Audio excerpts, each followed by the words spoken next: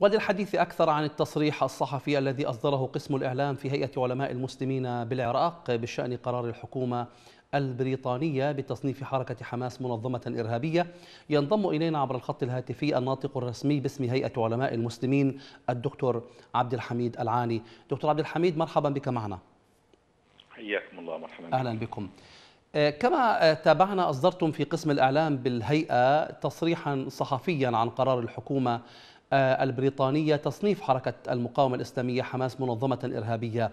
كيف تنظرون للقرار؟ وهل صادف صحيح الواقع؟ وما تنص عليه المواثيق الدولية من حق الشعب الفلسطيني في الدفاع عن ممتلكاته وأراضيه؟ نعم بسم الله الرحمن الرحيم. حقيقة هو ليس مفاجئا مثل هذا القرار ولا سيما وقد دأبت هذه الحكومات الغربية وعلى رأسها بريطانيا وأمريكا.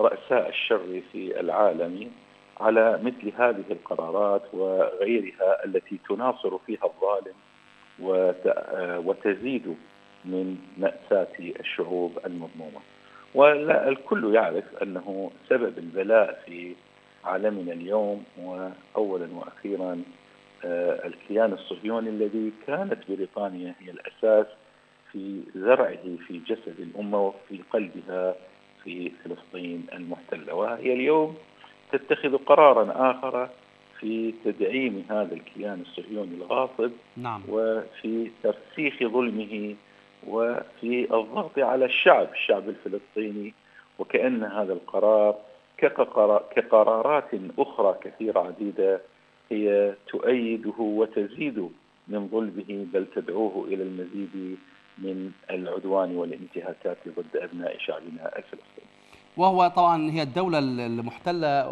والتي احتلت فلسطين من قبل وسلمت فلسطين للكيان الصهيوني فيما بعد وأسس هذه الدولة المارقة. يأتي هذا القرار دكتور بعد مرور 104 سنوات على وعد بلفور والذي يصادف الثاني من تشرين الأول. يعني في الحقيقة هذه المصادفة أيضا ليست يعني أو لا تمر مرور الكرام كما هو معروف. نعم هو ترسيخ لهذا المبدأ وهذا هذا الزرع زرع الكيان الصهيوني في قلب الأمة وترسيخ لمبدأ العدوان على الشعوب في العالم. ولا ننسى أن بريطانيا يعني تاريخها أسود في احتلال البلدان والكثير من البلدان العربية كانت ترزح تحت ظل الاحتلال البريطاني فلسطين التي سلمتها كما ذكرت وذكرنا. إلى الكيان الصهيوني وكانت أيضا تستعمر وتحتل العراق قبل أن تخرج منه بفضل الثورات العربية العراقية ضدها نعم ما تأثير هذه القرارات على المنظمات والهيئات والجمعيات التي تسعى للتحرر من نير الاحتلال دكتور؟ حقيقة هو هذا يعني لابد أن نأخذ في نظر الاعتبار أن هذا القرار هو لا يستهدف منظمة حماس بحد ذاتها وإنما هو يستهدف القضية الفلسطينية برمتها ويستهدف الشعب الفلسطيني الذي يتعرض للظلم والعدوان منذ أن احتل من قبل بريطانيا ومن أن منذ أن زرع هذا الكيان الغاصب فيه. فهي إذا ليست فقط استهداف لمنظمة حماس ولا لغيرها من المنظمات والجمعيات الأخرى وإنما هذا نوع من أنواع التضييق على الشعب الفلسطيني ومحاولة منع كل ما من يؤدي إلى مساعدة هذا الشعب أو الدفاع عن حقوقه سواء كان دفاعا باللسان يعني بالإعلام بالمال بالسلاح كما تفعل فصائل المقاومة الفلسطينية التي هي حق من حقوقها المشروعة والتي كفلتها جميع الدساتير الأرضية طبعا.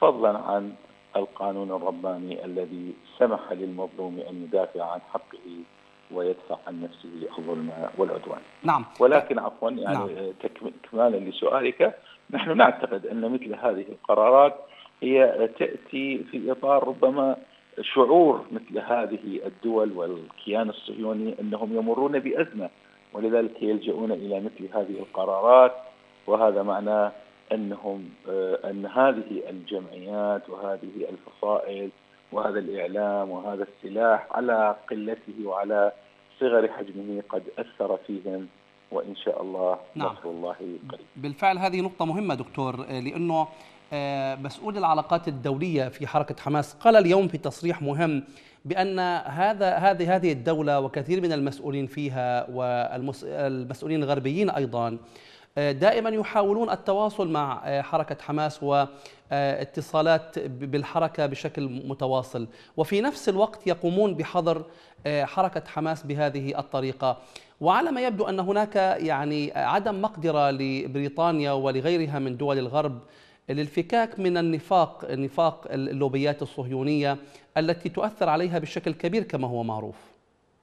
بالتأكيد يعني تأثير اللوب الصهيوني على الغربي واضح جدا ومع هذه القضية وغيرها. قد عرف الغرب ولا سيما هذه الدول الاستعمارية عرفت بازدواجيه المعاريف مع الموازين عفوا ازدواجيه المعايير نعم.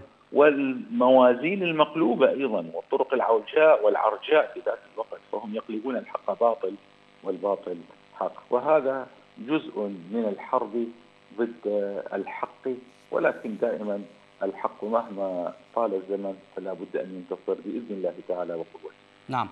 دائما ما رفع الشعب الفلسطيني بحركاته وقواه مطلب اعتذار بريطانيا عن وعد بلفور الذي أعطى من خلاله من لا يملك لمن لا يستحق أرض فلسطين المحتلة. ولكن للأسف كما قلنا قبل قليل بعد 104 سنوات ترد بريطانيا بحظر حركات مقاومة حية ضد المشروع الصهيوني ووضعها على قوائم الإرهاب، كيف يمكن التعليق على هذا الرد؟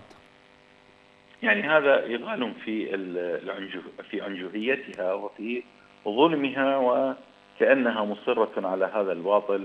وعلى هذا الخرق الكبير الذي صنعته بهذا العمل. ولكن كما يقال دائما أن مثل هذه الحقوق لا تسقط ابدا بالتقادم ولا ننسى أن كثيرا من الشعوب التي رزحت تحت الاستعمار والاحتلال فإنها مهما طال الزمن قد تحررت وخير مثال على ذلك الجزائر التي استطاعت مهما فعلت فرنسا ومهما بذلت ومهما صنعت ومهما انتهكت إلا أن الجزائر استطاعت أن تنهض من جديد وتتحرر.